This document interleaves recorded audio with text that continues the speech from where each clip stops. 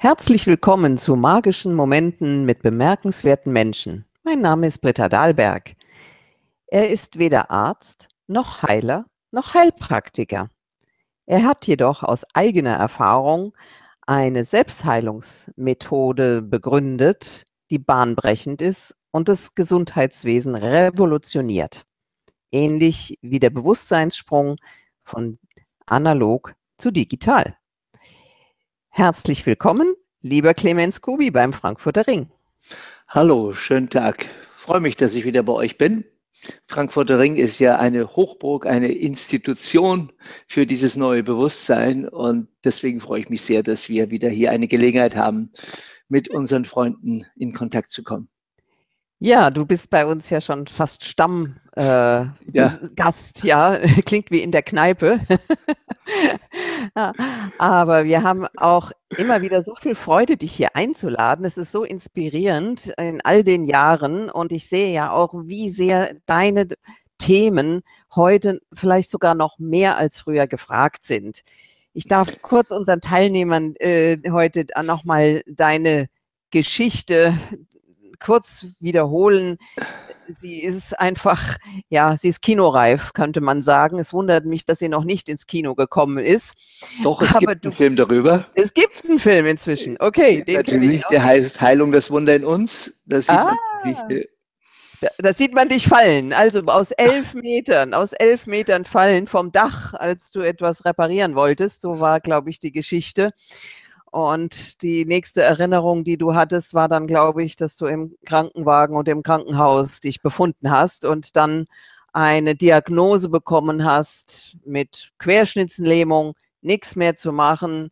Das äh, ist etwas, äh, das wird lebenslänglich äh, sein und du wirst nie wieder laufen können. Also eine katastrophale Diagnose eigentlich, wo jeder ähm, geneigt ist, sich aufzugeben. Ne? Und ja. was war da bei dir dann? Was passierte dann als nächstes bei dir? Naja, so schnell ging es nicht. Ich lag ein Jahr in dieser Klinik und es war für mich auch nicht gleich klar, warum ich da auf zwei Beinen herausgehen konnte. Die Medizin äh, nannte das eine Spontanheilung. Und tja, ich fragte dann, wie funktioniert denn Spontanheilung? Und da sagten die, naja, spontan eben. Aber das hat mich nicht befriedigt. Ich bin deswegen um die ganze Welt gereist. Ich war auf allen Kontinenten in 14 Ländern, um herauszufinden, wie geistiges Heilen funktioniert. Denn ich bekam ja weder Medikamente noch eine OP, um wieder laufen zu können. Also musste es eine geistige Intervention gewesen sein. Und äh, daran habe ich 23 Jahre gearbeitet, um zu wissen, wie hat es funktioniert. Und heute kann ich das Ihnen in einem Wochenende beibringen. Und also das, das ist heute, ich, das ist eben äh, wir, so unser Seminar, das wir jetzt vorhaben, hier äh, bei euch am Frankfurter Ring zu veranstalten, heißt ja auch gesund ohne Medizin. Und das ist für viele schon ein Rätsel. Aber das war ja meine Erfahrung, dass es ohne Medizin funktioniert hat. Wobei, nicht, dass man mich falsch versteht, die, die KG, die Pflege in der Klinik war hervorragend und ohne diese medizinische Versorgung würde ich wahrscheinlich jetzt hier nicht sitzen. Aber das Heilmittel war nicht Medizin. Das Heilmittel war ein Bewusstseinsprozess. Und darunter können sich immer wenig Leute was vorstellen.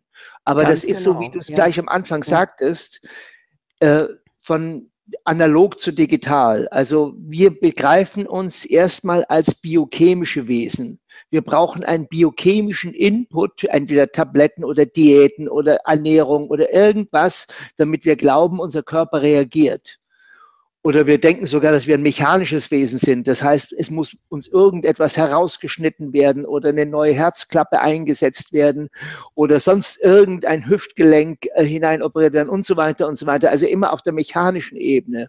Hm. Und auf dieser Ebene bin ich natürlich vollständig entmündigt. Da kann ich nur dem folgen, was mir einfach die Fachleute sagen. Und das muss ich auch, wenn ich selbst keine Idee habe. Aber wir machen dieses Seminar, damit ich mich selber heilen kann. Und das passiert über einen Bewusstseinsprozess. Das heißt, ich muss meine Philosophie ändern. Ich muss mich selbst nicht mehr als biochemisches oder mechanisches Wesen begreifen, sondern primär als ein geistig-seelisches Wesen. Und dann habe ich völlig neue Möglichkeiten. Das ist eben genau wie in dem Beispiel, wenn ich mich, wenn ich plötzlich die Welt digital betrachte, hm. habe ich ein Smartphone in der Hand und kann umsonst um die Welt telefonieren. Das nennt sich dann Skype und es ist eine völlig neue Welt, die analog nicht herzustellen war, obwohl sich an der Welt selber ja noch nichts geändert hat, sondern ich gucke sie nur anders an. Und genau das lernen wir im Seminar. Wir schauen uns als geistig-seelisches Wesen an und haben dadurch plötzlich unglaublich neue Möglichkeiten, und zwar bei jedem Symptom. Egal, ob es jetzt die Hüfte ist, wovon ich schon sprach, oder jetzt kam jemand, der war blind und der konnte nachher wieder sehen. Aber nicht, weil ich ihn geheilt habe, sondern weil er verstanden hat, warum er blind geworden ist. Und in dem Moment, wo wir die Ursache die geistige Ursache für unsere Krankheit im Bewusstsein haben, können wir es auch ändern. Also das klingt wirklich fantastisch und es klingt nicht nur fantastisch, wir haben es ja auch jedes Mal miterleben können hier als die Organisatoren äh, rund um deine Seminare. Ja. Ähm, ich, ich habe mich leider manchmal, nicht genügend drum gekümmert. Ich Leute schon haben, die könnten auf der Webseite sagen, genau. was sie geheilt sind. Ja. Weil jedes Mal, wenn jemand geheilt ist, denke ich, ist doch wunderbar, dann kann er ja. doch gehen ich brauche mich nicht mehr um ihn zu kümmern, ist doch wunderbar. Aber heute weiß ich, man möchte diese Belege lesen und sehen und schreiben. Aber das Problem ist, dass die Leute, die schwer krank kommen, und leider muss ich sagen, die Leute kommen zur Selbstheilung immer erst dann, wenn alle anderen Methoden erschöpft sind.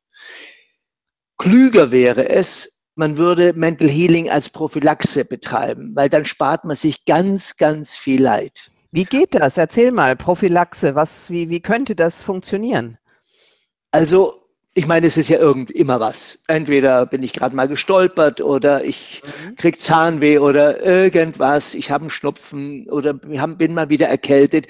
Und vor allen Dingen sind es ja so Dinge, die begleiten einen oft schon im Leben immer so und man hat sich an die gewöhnt. Manche haben das von Geburt, die sind so geboren und sagen, na ja, damit muss man halt leben. Sage ich, Moment mal, wer sagt denn das? Wer ist denn der Chef deines Körpers?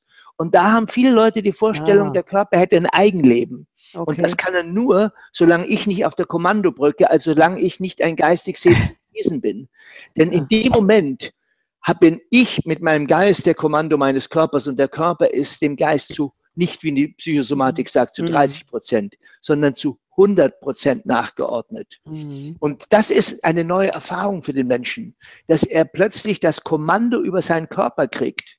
Weil man sonst sagt, ja, das ist das vegetative Nervensystem, da kannst du nichts machen. Die, die Ärzte sagen, ja. der Körper ja. ist ein Mysterium, da stecken wir nicht drin, da passieren eben Spontanheilungen, wir haben keine Ahnung, wie die zustande kommen.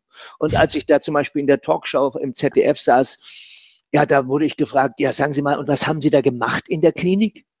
Und ich sagte, naja, ein Bewusstseinsprozess. Ich möchte wissen, was Sie gemacht haben. Also offenbar fehlt es nicht in unserer Gesellschaft, sein Bewusstsein ja, zu erweitern. Ja. Dabei ist das, das der eigentliche Sinn des Lebens. Wir sind auf der Erde, um Erfahrungen zu machen, um genau. unser Bewusstsein weiterzuentwickeln, weil die Erde braucht dringend Bewusstseinserweiterung. Denn wenn wir unser Bewusstsein nicht erweitern, dann fahren wir den Planeten an die Wand. Wir sind auf dem besten Weg dazu. Und man kann nicht von Politikern erwarten, dass sie ihr Bewusstsein erweitern. Das muss ich selber machen. Und am stärksten, ich habe mir lange überlegt, weil ich habe die Grünen gegründet und ich habe mhm. viel politische Arbeit gemacht mhm. und gemerkt, damit ändere ich eigentlich nicht wirklich das Leben. Und wo ich es wirklich ändere, ist, wenn ich mich selber heilen kann. Weil dann habe ich eine Freiheit, die kann mir nie wieder jemand nehmen. Denn solange ich glaube, ich brauche einen Arzt, einen Heilpraktiker, einen Heiler, einen, weiß ich, irgendwas anderen, der mit mir was macht, ja. bin ich nicht in meiner Kompetenz. Und das ist das, was ich Ihnen gerne im Seminar vermittle.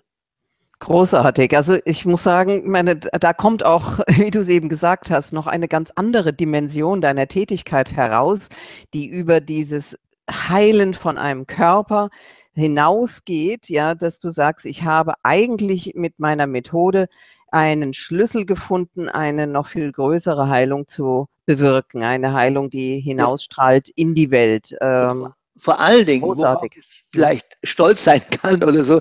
Aber das kommt aus der Kombination von diesem Querschnittsfall, den ich eben überstanden habe. Aber er kommt eben auch aus meiner Filmtätigkeit, dass ich seit meiner Schulzeit Filme mache. Weil im Film habe ich gelernt, welche Bilder wirken und welche nicht. Und es ist eben so, unser Gehirn kann nicht unterscheiden zwischen Fakt und Fiktion. Das heißt, wir selber können uns unsere neue Wirklichkeit ausdenken, genauso wie ich Filme mache. Aber auch beim Film merken Sie, Sie sitzen in manchen Filmen und sagen, na ja, der wirkt nicht. Aber Sie sitzen in manchen Filmen, da heulen Sie sogar. Da haben Sie Tränen, da weinen Sie. Ja, warum? So real. Wo ja. doch Licht und Schatten auf der Leinwand ist. Es passiert doch de facto nichts. Ja. Und trotzdem zeigt Ihr Körper echte physische Reaktionen. Und diese Erfahrung, die man im Kino macht, die habe ich mir zu eigen gemacht und habe gelernt, aha, ich kann also durch Information auch Synapsen bilden, die wiederum mein gesamtes Zellverhalten regulieren. Und diese Informationen, die die Synapsen bilden, die müssen nicht wahr sein. Die können ausgedacht sein, weil eben unser Gehirn nicht unterscheidet zwischen Fakt und Fiktion. Und das ist das, was Sie im Seminar lernen. Sie lernen, sich Ihre eigene Wirklichkeit zu erschaffen.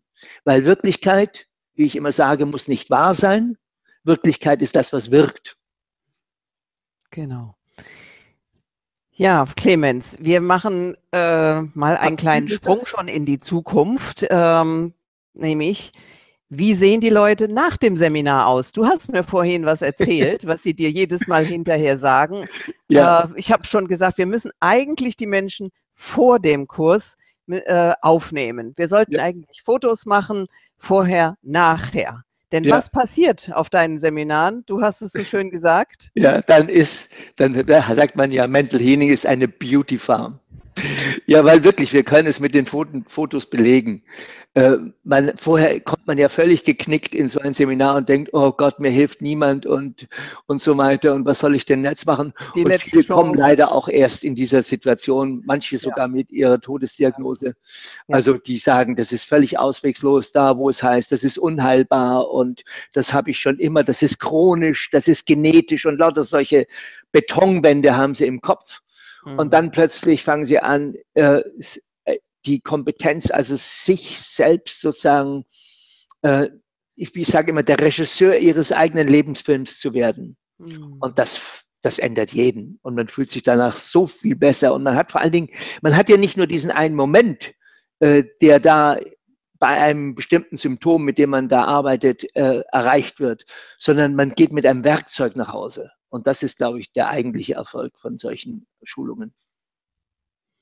Klasse.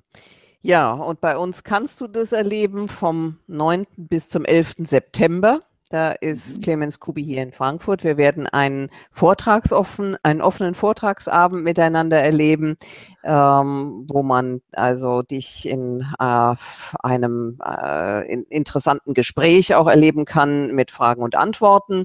Und es ist zugleich der Anfang dann von diesem sehr intensiven Seminar, für mhm. das man mhm. sich auch wirklich Zeit nehmen soll. Ich sage es mal gleich im Voraus, bitte nicht hinterher noch etwas planen. Das ist ein wirkliches Geschenk für dich selbst und mhm. für deine Zukunft und dem sollte man auch wirklich Zeit widmen und auch die Nacht widmen und äh, nur sich da drauf Britta, einlassen. Man, Britta, man sollte vielleicht auch sagen, man kann ja zu dem Vortrag vorher kommen, äh, unverbindlich bezüglich des Seminars, weil man sagt, man möchte erstmal diesen Mann genauer kennenlernen, bevor man sich für so ein Wochenende entscheidet. Da habe ich größtes Verständnis dafür. Aber genau man muss die Zeit schon eingeplant haben. Denn wenn man sich spontan ja. nach dem Vortrag entscheidet, am Seminar teilzunehmen, dann braucht man auch die Zeit bis Sonntag äh, Nachmittag 16 Uhr. Denn es hat keinen Sinn, da nur so reinspringen und wieder rausspringen. Also man kann ruhig kommen mit der Skepsis und sagen, nur gut, das, ich mache mal nur erstmal den Vortrag, aber dann brauche ich auch, muss ich die Zeit schon eingeplant haben, falls ich mich entscheide, dass ich es dann auch tun kann. Also ich glaube, wir brauchen gar nicht mehr zu zögern. Ähm, es ist heute schon passiert. Also mich hättest du schon gleich überzeugt, ja. Alleine durch die Erfahrungen, die du erzählst, äh, die du als äh, erstens mal betroffener Patient hattest, zweitens aber auch diese wunderbaren Bilder, die du erzeugt hast, ähm, der Vergleich mit dem Regisseur des Lebens, ja, dass man das Drehbuch seines Lebens schreiben kann das ist doch sehr eindrücklich und überzeugend und tausende von Teilnehmern, die das immer wieder auch berichten.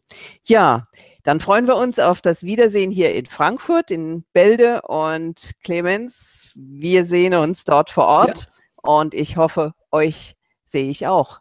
Ich danke für die Zeit, Clemens. Bis dann und vielen Dank an euch, der, da, dass ihr heute ja. dabei wart bei unserem Talk.